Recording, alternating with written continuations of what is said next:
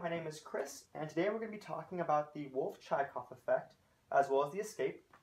Um, before we get into it, I want to orient ourselves. So right now we're looking at the thyroid gland, specifically a thyrocyte, which is responsible for making thyroid hormones, specifically T4 and T3.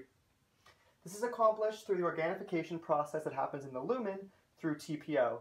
The way iodide is able to get here is through the NIS, sodium iodide symporter, which is found on the basolateral membrane. This takes two sodium and one iodide into the cell, which is then transported into the lumen of the thyroid gland in order to make T4 and T3.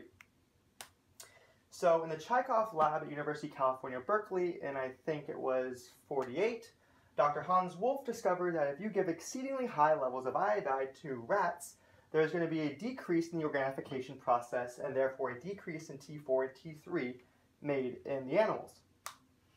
Um, what's later understood now is that when you have increasingly, level, increasingly high levels of iodide, you are decreasing the mRNA of NIS.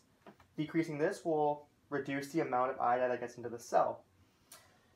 Also, exceedingly high levels of iodide are going to decrease the uh, functionality and presence of TPO as well, and it will also reduce the vascularization of the thyroid gland. This is kind of important if you're going to do like a thyroidectomy where you want to decrease amount of blood flow there. so yeah, so the Wolff-Chaikoff effect, exceedingly high levels of iodide, is going to decrease the organification that happens in the lumen and therefore decrease T4 and T3. So now we have the escape from Wolff-Chaikoff. so after two days of giving exceedingly high levels of iodide, the body has reduced the NIS as much as possible.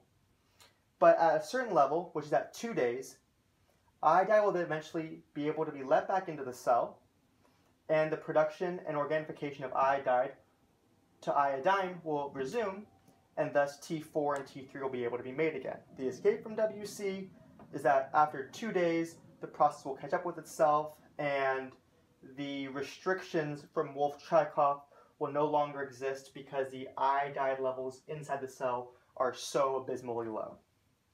Hope that helped, and good luck studying.